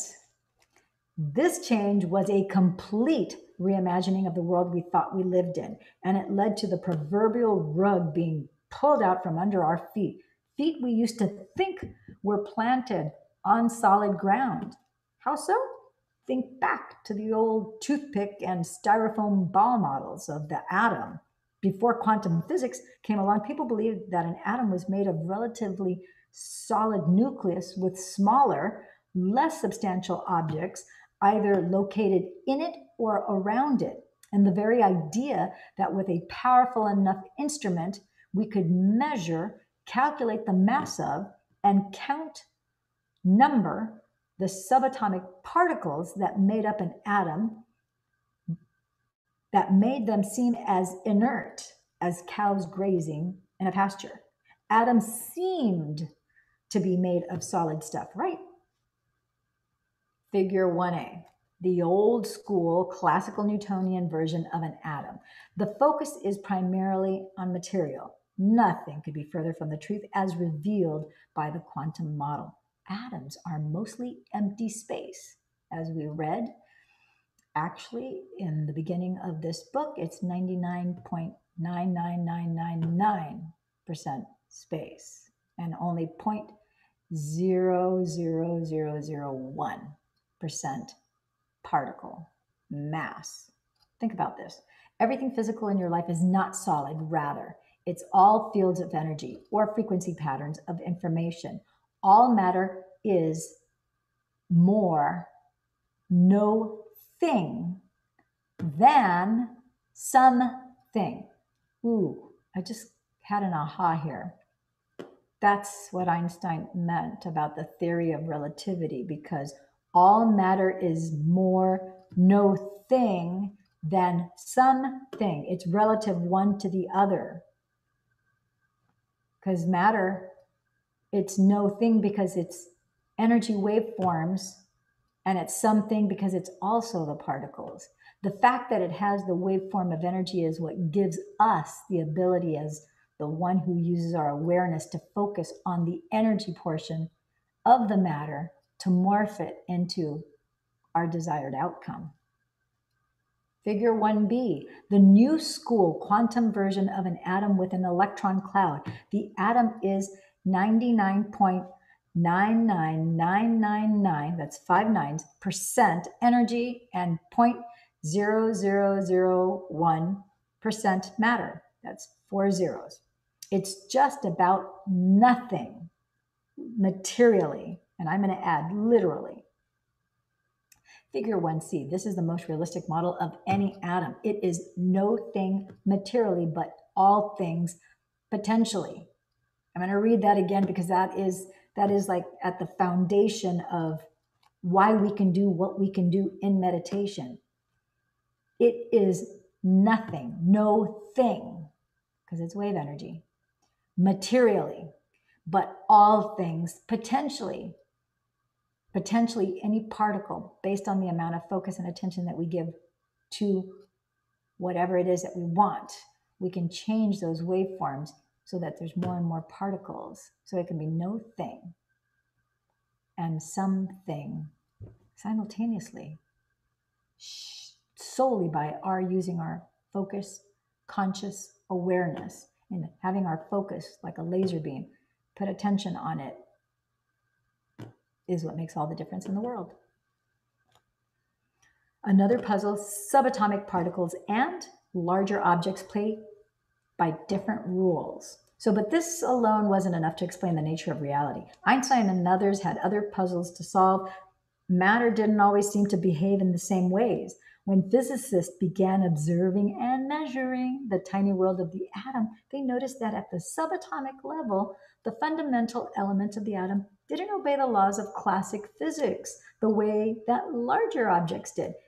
Events involving objects in large world were predictable reproducible and consistent. But when that legendary apple fell from a tree and moved toward the center of the earth until it collided with newton's head its mass accelerated with a consistent force. But electrons as particles behaved in unpredictable unusual ways when they interacted with the nucleus of the atom and moved towards its center they gained and lost energy appeared and disappeared and seemed to show up all over the place without regard to the boundaries of time and space.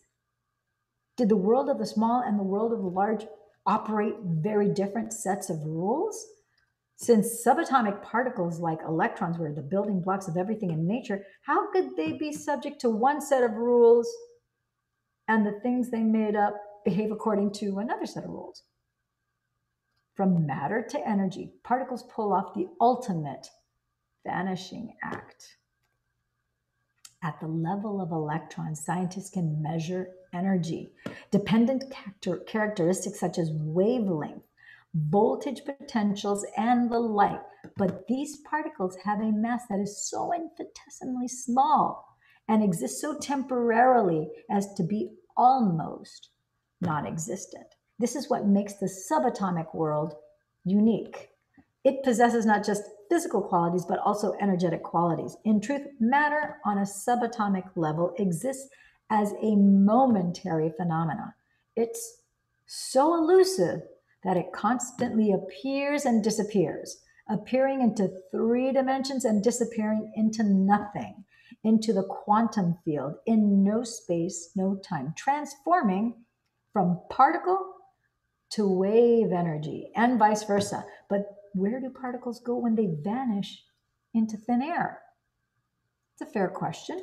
So, figure 1D the electron exists as a wave of probability in one moment, and then in the next moment appears as a solid particle, then disappears into nothing, and then reappears at another location I can imagine being one of those researchers, how perplexing that would be because it's challenging everything they've ever been taught.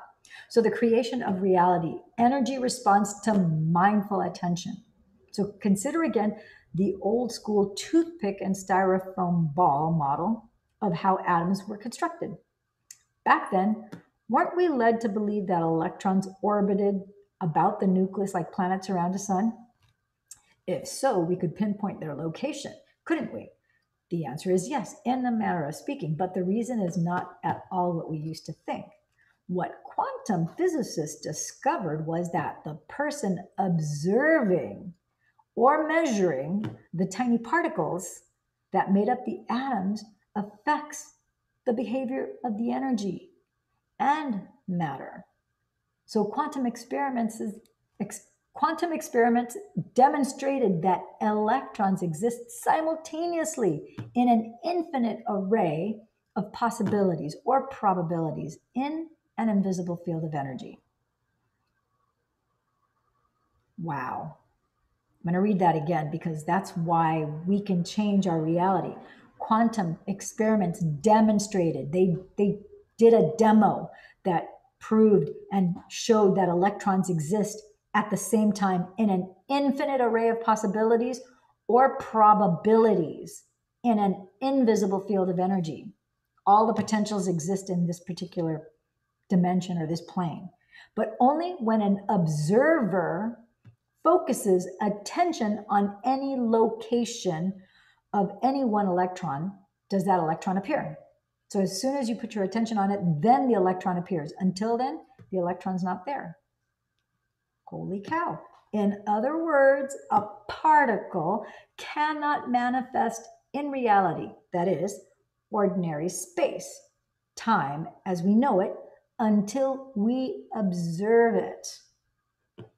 Whoa. So quantum physics calls this phenomenon collapse of the wave function or the observer effect. Hit the pause button here because because quantum physicists were able to discover this collapse of the wave function that it says here collapse of the wave function or the observer effect by you being the observer of the energy of what it is that you're putting your focus and your attention on that collapses the wave function of whatever is so that that wave function can now turn into the particles of what it is that you're focusing on what it is that you want now i got to make a comment here about wanting because wanting implies separation. And I know it's early in the book, so but I, I, want you to get this and to embrace this.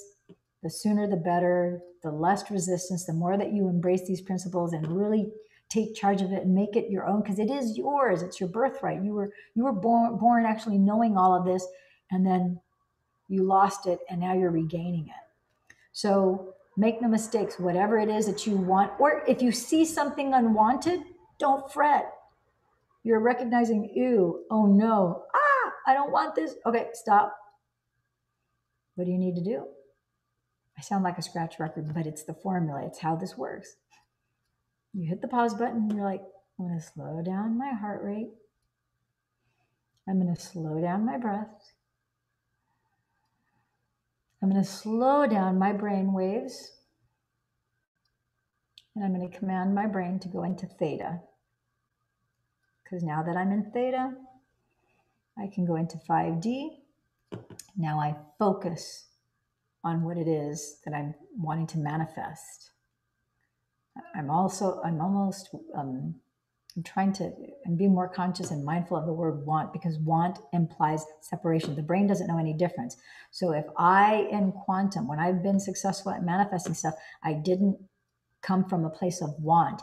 I was creating and focusing on the reality, the future reality that I wanted to be in my present. And in that state, I acted as if it was right now. And then I had the elevated emotion of love and I had heart and brain coherence. And in having heart coherence and brain coherence, once you connect those two and you add that elevated emotion of love, and then you bathe it with gratitude, and then the bow is gratitude and appreciation, and you're like, yes, yes, you're in, in, in genuine thankfulness because you've created it in that realm as if it were right now. Your brain doesn't know that that's a future that you're future casting or future creating. It thinks that that's happening now because when you act and feel grateful and appreciative, you're holding it in higher regard and higher appreciation and, and a higher status.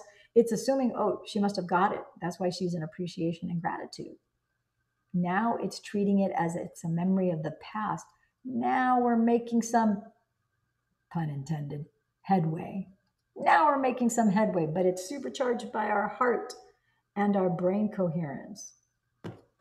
So, quantum physicists call this phenomenon collapse of the function or the observer effect. We now know that the moment the observer looks for an electron, there is a specific point in time and space when all probabilities of the electron collapse into that physical event. With this discovery, mind and matter can no longer be considered separate. They are one. They are intrinsically related because subjective mind produces measurable changes on the objective uh, physical world. So let's make a clear distinction between subjective versus objective. When something is subject to, then it's outside of you and below you. When you are objectively looking at something, you are instead of seeing your instead of seeing yourself self over there so that you are the witnesser and you are observing yourself over there subjectively as as an objective observer you are seeing through your own eyes you're reliving that experience in the first person which is how we live our lives we don't live our lives 3d subjectively, we live our lives objectively. We are subjective to other people, but our own life experience is an objective experience. We are the object, and we are through our eyes objectively experiencing, sensing, feeling, and emoting everything that's around us. Does that make sense? So, are you beginning to see why chapter why this chapter is titled The Quantum You? at the subatomic level, energy responds to your mindful attention and becomes matter. Let's read that again because that's another highlighted sentence.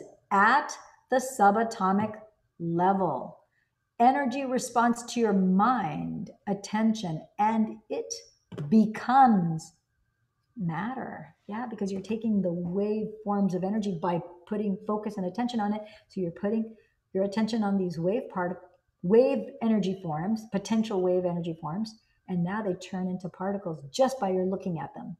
So they're going from energy forms and converting into particles. And the more you do that, the more particles start to coalesce. And when you have enough of them, then they pop out into your 3D reality. That's how it works. So, how would your life change if you learned to direct the observer effect and to collapse infinite waves of probability into the reality that you choose. Could you get better at observing the life you want? An infinite number of possible realities await the observer. So ponder this. Everything in the physical universe is made of made up of subatomic particles, such as electrons. So by their very nature, these particles, when they exist as pure potential, are in their wave state while they are not being observed. So when you're not looking at them, they're all waveforms. And as soon as you start to look at them, they go from waveforms to they turn into particles. So they are potentially everything and no thing until they're observed. And you are the one that gets to observe. They exist everywhere and nowhere until they are observed. Thus, everything in our physical reality exists as pure potential. If subatomic particles can exist in an infinite number of possibilities and possible places simultaneously, we are potentially capable of collapsing into existence an infinite number of possible realities. In other words, if you can imagine a future event in your life based on any one of your personal desires, that reality already exists as a possibility in the quantum field, waiting to be observed by you. If your mind can influence the appearance of an electron, then theoretically it can influence the appearance of any possibility. So we got to stop here because this is so juicy. This is so good. This is part of the key to everything. You need to know that there's no such thing as anything being impossible. If you have the desire for something to be, if you want to create a greater level of health, let's say that you're right now, you're watching this this broadcast let's say that you are confined to a wheelchair and let's say that you are let's say that you're paralyzed from the neck down as my son was. My son went from being able to run black diamond slopes and from doing moguls on black diamond runs expert level skiing at 11 years of age he was paralyzed from the neck down. Fast forward a year later actually less than a year later, five five months later, yeah, five months later, he was back in the pool. Believe it or not, playing water polo. Any of you who have any notion uh, any experience with water polo, you know that you have to have an incredible amount of physical endurance, and they make you you you you know you do dry training, which is above ground, usually an hour and a half of dry training, and then another hour and a half or two in the water training. It is super intense, super aggressive. It takes a it's a full body strength. You have to have an amazing strong core for that. And so he went from I mean, he could not hold a pencil, couldn't zip up a shirt, couldn't button. He was paralyzed from the neck down when he left the hospital. And 5 months later he was playing water polo. Albeit he wasn't jumping, he was falling off diving boards um, because he couldn't get up by himself. He needed assistance, but he was back in the pool. And within a year, he basically was at 99% recovery, which is where he stands today. He still has a tiny little bit of a shake, which is his only reminder that that he actually had that. And so it's possible for you. It doesn't matter, even if it seems if you have a loved one right now who um, had some sort of brain injury and they can barely speak. You know, I had a revelation. It was yesterday. It was so.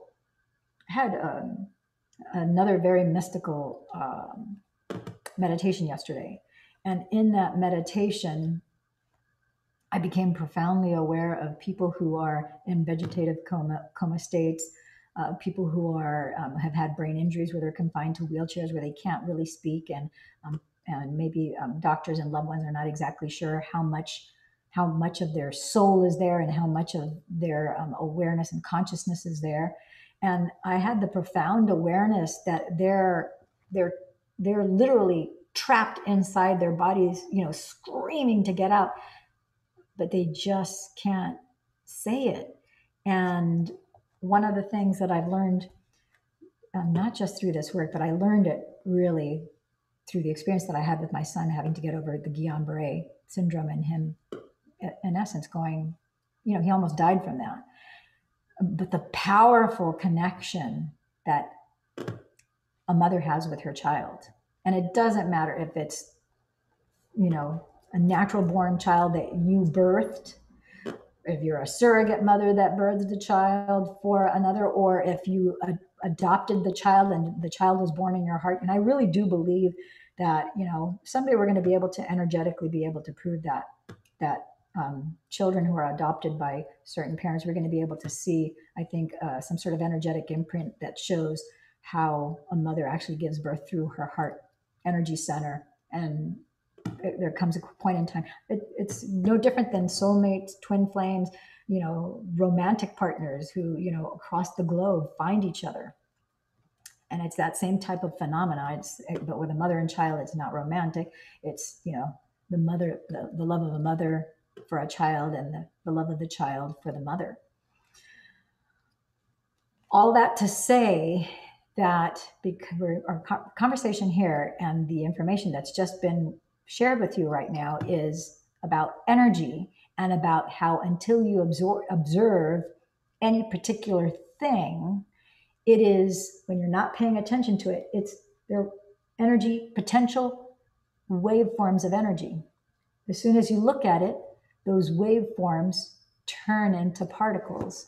And the more you observe it the more particles start to add up to each other till you have enough of them that they coalesce and then they can pop out into 3d so that's why we've been able to have people during our seven day advanced events at the monasteries at Dr. Joe's. And make no mistake, it's not limited to people who are going to the seven day events. There are people who have never attended and have also had these extraordinary results who are from home, from the hospitals, from their hospital, wherever it is that they are.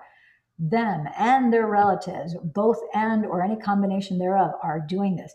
But my message to you, just as a parent and as a mother, make no mistakes because I, I i'm the only person i know that is talking about this but you your your child i don't care if your child if you, if they're six days old six months old or if they're 16 years old or 60 years old you haven't your toroidal electromagnetic field is It's the, you know the entanglement theory, which quantum physicists have now proven too. You are combined and you are entangled with them. So they are, whether you are aware of it or not, they are automatically reacting to you. And if you don't think that they can get better, they are not going to get better. Plain and simple, because, you know, I can elaborate on this and I've done some videos on this. I'll have to see if I can, don't remember. I don't think they're um, all produced um, right now, but I'll work on getting some of those done because I think this is, there's something so powerful here. And I've seen such incredible things just over the last, since last year, since 2019, since I want to say from September, October until now, of just mothers that I've talked to and certain fathers, because I've had some fathers who reached out to me because their son, you know, had lung cancer or this other child had this neurological disorder or whatnot. People with kids of, of, of all ages, teenagers, babies, you know, grown adults. And this particular sliver of information, I think, is such a critical piece. Um, that child with that parent is not alone, and vice versa and you have far more power than you recognize and and if you get a chance i think there's a movie called breakthrough and um, right now i'm forgetting the name of the i'll see if i can link it uh, i'll put the name in the description of this video so you can check it out but it's a mother who adopted a son and he was playing on the ice on a lake that was iced over with his two best friends and then of course they started jumping on the ice and as bad luck would have it, he ended up falling through the ice. He, um, you know, he died, came back, and then they thought he wasn't going to make it.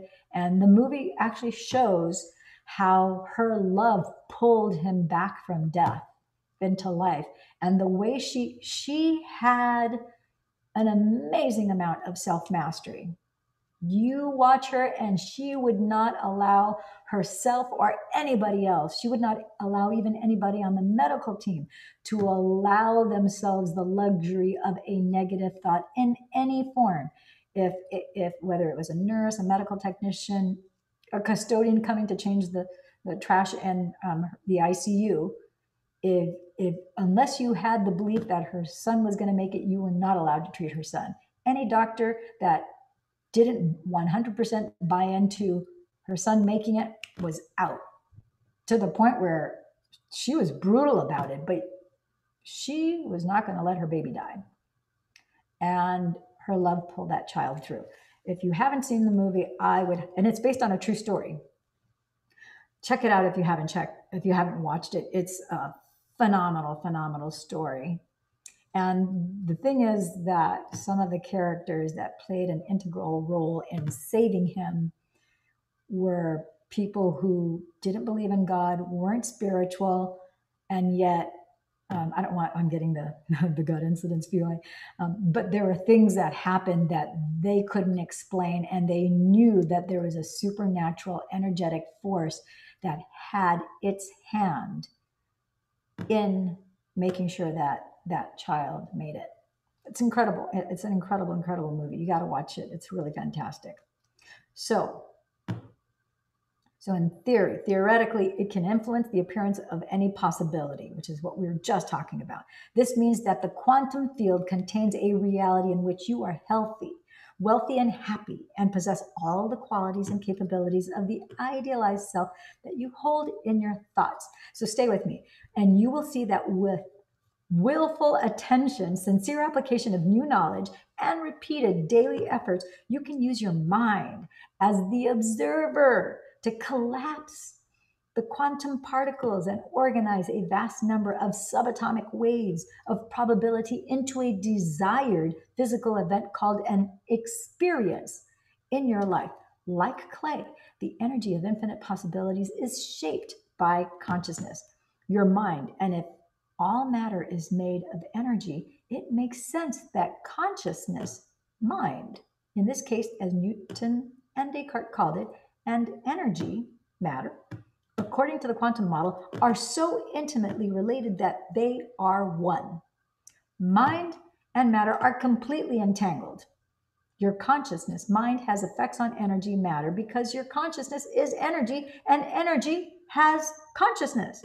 I'm going to pause right here. Not only does all energy have consciousness, but now one of the things that phys, um, quantum physicists have discovered and have been able to confirm is that every cell in your body, first of all, each of your eight energy centers, you have, you know, your first, your second, your third, your fourth, your fifth, your sixth, your seventh, and your eighth energy center, all have not only a mind and brain of its own, each one has its own level of consciousness.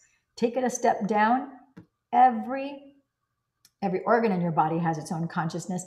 Every cell in your body has its own consciousness, and every atom in your body has its own consciousness. So make no mistakes when you're doing these meditations, you are commanding every cell of the 50 trillion cells that you have in your body, you're commanding them all that consciousness. You're commanding that like a laser light to focus on what it is that you want to manifest the outcome of health, wealth, prosperity, happiness, success, an experience, a mystical experience, whatever the case might be. Okay. So you are powerful enough to influence matter because at the most elementary level, you are energy with a consciousness and you are mindful matter. In the quantum model, the physical universe is immaterial, interconnected, unified field of information, potentially everything, but physically nothing. The quantum universe is just waiting for a conscious observer, you or me, to come along and influence energy in the form of potential matter by using the mind and consciousness, which are themselves energy, to make waves of energetic probabilities coalesce into physical matter, just as the wave of possibility of the electron manifests as a particle within a specific momentary event, we observers cause a particle or groups of particles to manifest physical experiences in the form of events in our lives. Pause button here. I've talked about this before and I'll talk about this again. How I was able to, when I was in Victoria, British Columbia, I was in Victoria and I actually left on the plane. Um, this phone, as a matter of fact, I left this phone on the plane. And long story short, when I left it on the plane and I recognized it, it was you know, we, we got into the airport at 12:30 at night. So by the time we got into our room, it was like two in the morning. Once I got there, I went to look for my phone, and that's when I realized, oh crud, I left it on the plane on my seat. And then, you know, you do Google locate, and I could see that it was still there at Delta. So long story short, I'm like, I did not entertain the possibility that I was not going to get that phone back. I, because I used this meditation already to manifest other things, and I had manifested other things, I'm going to manifest that phone back. Long story short, I did manifest the phone back. And in fact, I think I can even show you on my phone here the name of the airline stewardess who actually sent it back to me, Maureen. So she ended up five weeks. It took me five weeks, but the point is, who recovers a lost or stolen phone at an international airport? Nobody. But I did. So here, mm, uh, her, her, name is Maureen Wing. How do you pronounce her last name? Wingardner, I think it was. Hi, Maureen. Okay, so she called me. So then I, I'm replying back to her. This was August 17th. I was there the last week of July. Hi, Maureen. I just emailed my FedEx account number and ship address. Let me know you got it. I got a phone call from her. She said, Lillian, we found your phone. Just give me your FedEx account number. And on Monday, I will go to uh, FedEx and I will ship you your phone back. And sure enough, so if you can see here, I don't know if it's going to show up backwards. If you can see, there's her. Uh, and then the second message says, Perfect, I got it. I'll let you know when it has been shipped. And then she put, I just checked the FedEx site near the airport and they open on Monday, so I will ship it then. Have a great weekend. Super, thank you. Uh, let's see, let's see. Uh, so here's my FedEx tracking number. I sent her a picture of myself so she would know what I looked like. And I said, hey, when you come to Huntington Beach, because she says she sometimes comes to California, I said, you know, come on over and maybe we can paddleboard. And um, if you want to learn, I'll show you how, yada, yada. Long story short, she sent me a picture of her I also have a picture of her Delta Airlines. Let's see. And let's see. And I have a picture here of her. Here's her Delta Airlines. That's her. The one on um, this side is her, is Maureen. So the meditations work for everything. This is crucial to understanding how you can cause an effect. I cause that effect. Or make a change in your life when you learn how to sharpen your skills of observation to intentionally affect your destiny. You are well on your way toward living the ideal version of your life by becoming the idealized version of yourself. We are connected. Okay, next section. We are connected to everything in the quantum field. Like everything else in the universe, we are, in a sense, connected to a sea of information in a dimension beyond physical space and time. That's why when you go into 5D, you're connected to all of it. We don't need to be touching or even in close proximity to any physical element in the quantum field to affect or be affected by them. The physical body is organized patterns of energy and information, which is unified with everything in the quantum field. You, like all of us, broadcast a distinct energy pattern or signature. In fact, everything material is always emitting specific patterns of energy, and this energy carries information. Your fluctuating states of mind, consciously or unconsciously, change that signature on a moment to moment basis because you are more than just a physical body. You are a consciousness using a body and the brain inside this bucket. So you're using a body and a brain to express different levels of mind. Another way to look at how we humans and the quantum field are interconnected is through the concept of quantum entanglement or quantum non local connection. Essentially, once two particles can be initially linked in some way, they always be they will always be bonded together beyond space and time. As a result, anything that is done, got to stop here real quick because the camera stopped.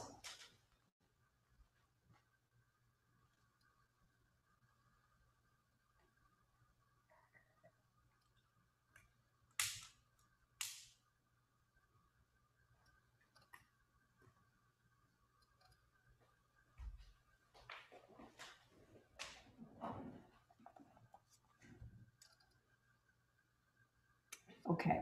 You know what? We started 9:30, 10:30, 11:30. It's been all 2 hours. I think we're going to stop here at this section. As okay, we're just going to finish this thought. As a result, anything that is done to one will be done to the other, even though they are spe- spatially separated from one another. This means that since we two are made up of particles, we are all implicitly connected beyond space and time. What we do unto others, we do unto ourselves. So I'm gonna we're gonna stop right there, and we will pick up part two of this chapter tomorrow night because we're already going two hours and it's going to take a long time to render this. So thank you for tuning in, tapping in, turning on to Love and Money Secrets TV. And I hope you are enjoying and learning a lot through this book by Dr. Joe Dispenza called Breaking the Habit of Becoming Yourself yeah, Breaking the Habit of Being Yourself by Dr. Joe Dispenza. If you have any questions, any comments, or concerns, please feel free to reach out to me. If you're interested in having a neuro health reset, that's the first place I always start with anybody who has any kind of pain. If you have pain anywhere, head to toe, anywhere in your body, and if you can point to, to it, then uh, we can get rid of it. If um, and whether and if or if you're feeling fear anxiety depression sadness grief sorrow um, unexplicable a melancholy an overall heaviness um, gravitas over your body. Uh, there's probably some sort of emotional in fact there is an emotional root to that. So we can you know i can address that with you. You can book a private session with me or you can watch you can start off by watching the um, how to do a neuro uh, health reset, and you can watch that and do that in the comfort of your home. But if you would like one-on-one instruction, you would like me to guide you through that process, then by all means, you can book a session and we can kind of take it from there. But thank you for tuning in, tapping in, turning on, and um, I hope you're enjoying this as much as I am. I'm really having fun with this. Please let's use the comments below like so that this is like an online class. So you can ask me whatever questions share any of your experiences as you as you start doing the meditations. Go to dr joe dispenza's website and actually order his uh, breaking the habit of becoming yourself. Order you know that that that actually comes with an introduction and then two meditations the body parts meditation and the body parts meditation and the water rising meditation. So you get two full blown meditations when you buy that one packet.